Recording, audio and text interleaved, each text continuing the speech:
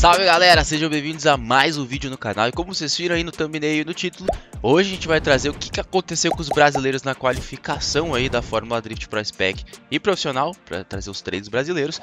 E hoje, na sexta, vamos ter às 18 horas da tarde a live das batalhas da Pro Spec E amanhã às 18 horas as batalhas da Pro onde somente Xerife Barion se classificou dentre tudo que a gente tinha possibilidade e a gente vai acompanhar tudo que aconteceu e explicar algum dos momentos ali que a galera ficou pistola por causa do Eric, o próprio Eric, né, postou sem comentários. A gente vai trocar uma ideia sobre isso. Mas antes de começar o vídeo, já lembro, deixa o like, se inscreve no canal. Estamos quase batendo a marca aí dos 20 mil inscritos.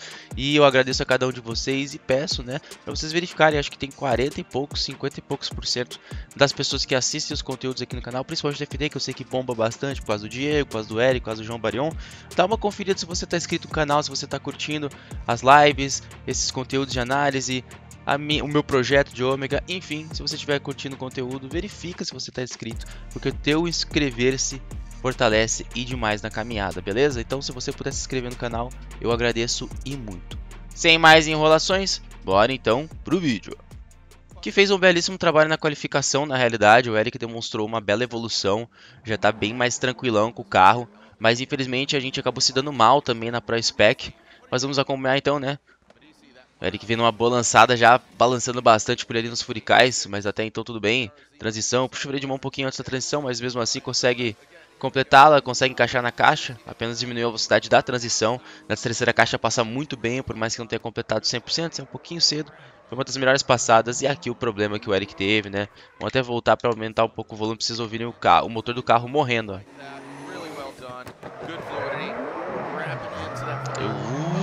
Daí ele tira o pé. Isso é o que? Ele tá acelerando com o pé na embreagem. E a hora que ele tirou, não veio a potência. De acordo com o que o Eric comentou depois nos stories que a gente viu juntos em live, é, ele acabou dizendo que o nitro não entrou, basicamente, né? E no geral ia ser uma volta muito boa, acredito que uma volta para 80 pontos, talvez um mais de 80 pontos aí para o Eric Metz, que teve esse final muito prejudicado, talvez em alguns pontos. Alguns juízes talvez poderiam até ter zerado essa passada dele. A gente vê agora nesse detalhe do, do drone, né? Olha a roda dianteira saindo fumacinha ali, ó. Então utilizando sim o freio de pé. Bastante o Eric. Puxa o freio de mão para fazer essa transição. Tem algumas correções aqui ali que deram umas deduções sim para ele. Mas o maior problema foi o carro ter morrido no final. E esse, é, esse fato acabou trazendo uma nota de 70.66 pontinhos para o Eric. Que zerou, né? Basicamente no X Factor. Então ele não conseguiu trazer nada de X Factor justamente por causa disso, usando freio de pé na lançada, segurando muito o freio de mão para fazer a transição, sabe? Não tendo aquele fator diferencial, tá fazendo uma volta até meio segura, por mais que estivesse sendo sim uma volta bem top por parte do Eric. Infelizmente o final acabou custando e bem caro, e por conta disso Eric ficou na 27ª colocação. Em formato nocaute, ele acabou tendo que fazer a passada mais uma vez para aí sim garantir a sua vaga na Qualify. E foi aqui que deu BO. A gente vai para essa segunda passada. E eu falo para a gente vai voltar para já olhar de novo. Olhem essa lançada e marquem na cabeça.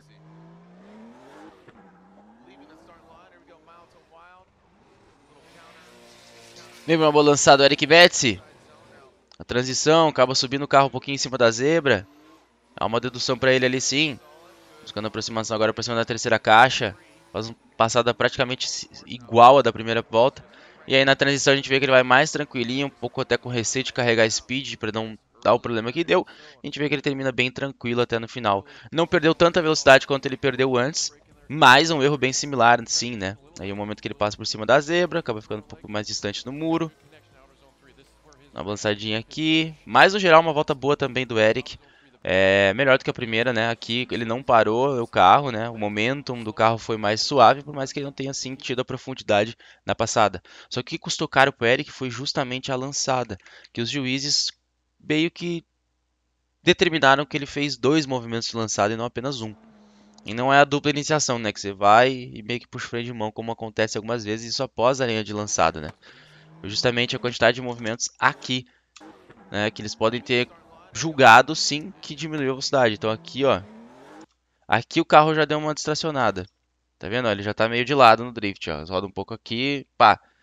Aí ele alinha e aí ele meio que joga de novo. E faz talvez mais do que um movimento de Furikai. Por causa dessa, né, tem um movimento a mais, né? Você vê as rodinhas trabalhando que ele tá jogando o carro, né? Ó, ó, um começou já, ó, começou de novo e fez um movimento.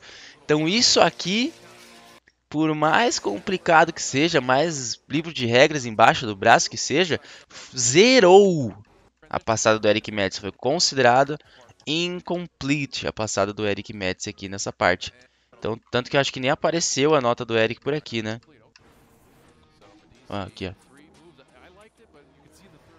É, ele tá falando sobre os três movimentos, ó. ó. Um, um, dois, três, tá ligado? Então, né, já tem esse primeiro aqui, ó. Um, tá vendo? Ele faz mais do que um movimento de Furikai, tá vendo? Ó, um, dois e lançou. Tá vendo? Por mais que seja um mini Furikaizinho, ó. ó. Um, dois e ainda quase três. Né? Três movimentos para fazer a lançada e não é assim que funciona no drift. E os juízes da FD taxaram e por conta disso o Elec recebeu uma volta incompleta e não se qualificou.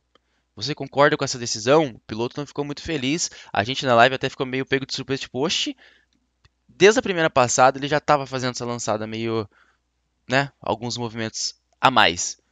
Mas aqui ele foi totalmente taxado, isso aqui custou caro, velho, demais, porque muito provavelmente a gente ia sim qualificar. Mas serve de aprendizado aí cada etapa sendo a construção dos pilotos.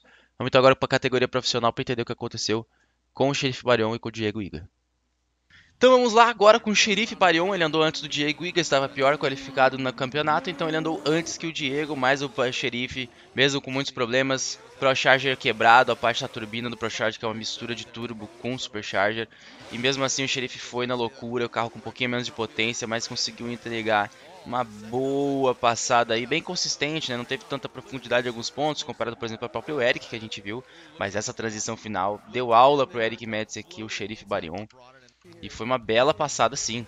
A lançada boa, coloca o carro onde precisa, não tá 100% na profundidade, fazendo assim, ó, transição boa, dá dois movimentos aqui, né, transição e aí depois bota um ângulo a mais, uma correçãozinha, aqui não fica tão profundo, a gente já eu já tinha comentado sobre isso, mas essa transição final é, de uma vez e passa rente ao muro, passa bem ali o chefe Barion e finaliza um belíssimo trabalho aí na qualificação.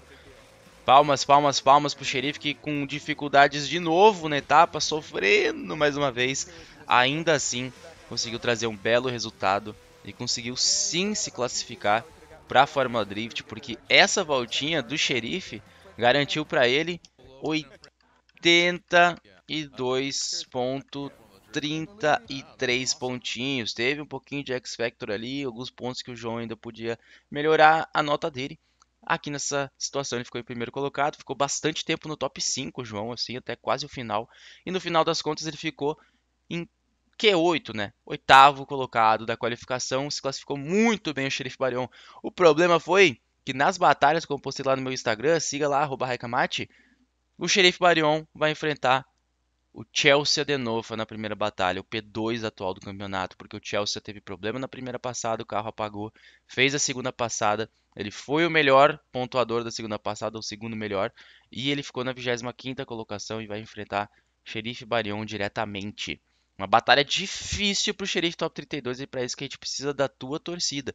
E lembrando, vai ter sorteio da Fueltech de pecinhas da Fueltech Motorsports para vocês aí na live das batalhas da Pro. Então fica ligado, se inscreve no canal, acompanha esses conteúdos, segue eu lá no Instagram arroba também a Fueltech, para você já estar tá com metade do caminho pronto aí para estar tá participando do sorteio. Enfim, Xerife Barion qualificado. Bora agora então para os nossos momentos de tristeza na categoria profissional. Bora então com o Diego Iga. Vem pra lançada. Na lançada já teve problemas o Diego, acaba tirando três pneus pra fora, já invalidou a passada dele, vem pra transição. Não sei se o carro tava estranho já por aqui, mas aí chega o um momento que...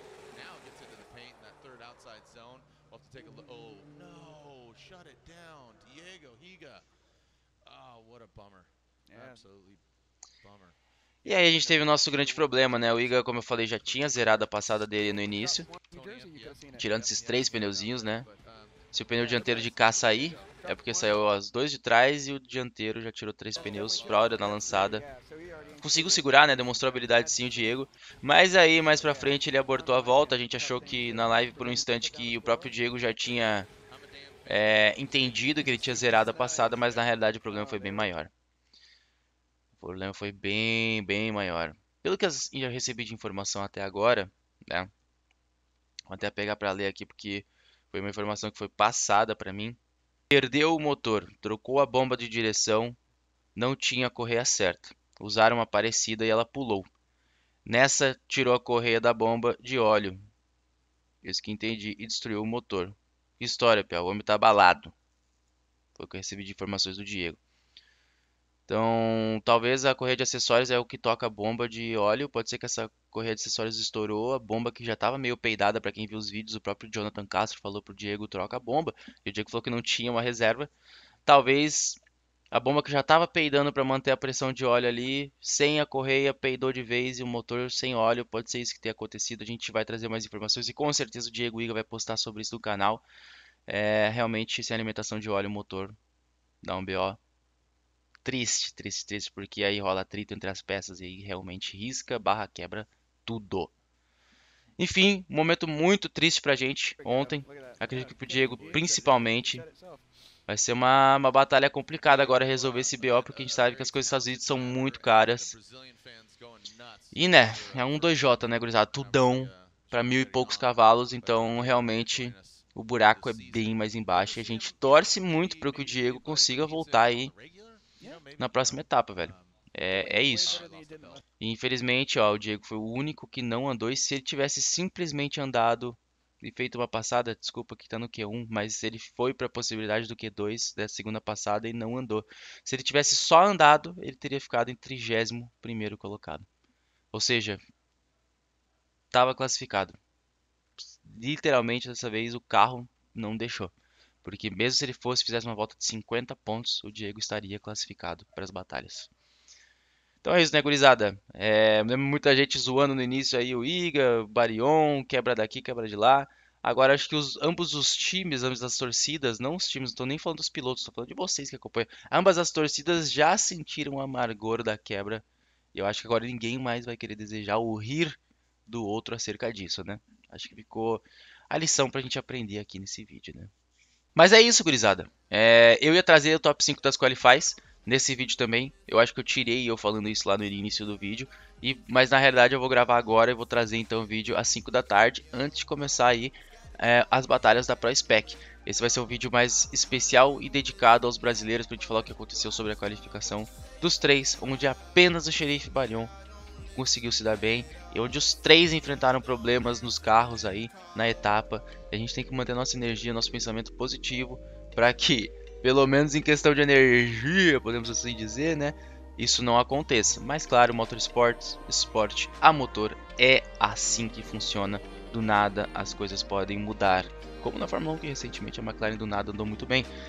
Então as coisas podem mudar e o carro pode acabar dando problema fatal, como aconteceu carro do Diego, ou um problema simples, como aconteceu no meio da volta do caso do Eric, que levou ele para a segunda passada e na segunda ele acabou sofrendo com o regulamento, com as regras do drift da forma drift. Beleza, galera? Então esse foi o vídeo de hoje, ou o vídeo de agora aí, meio-dia, é, aqui para mim, né, ou para vocês, enfim.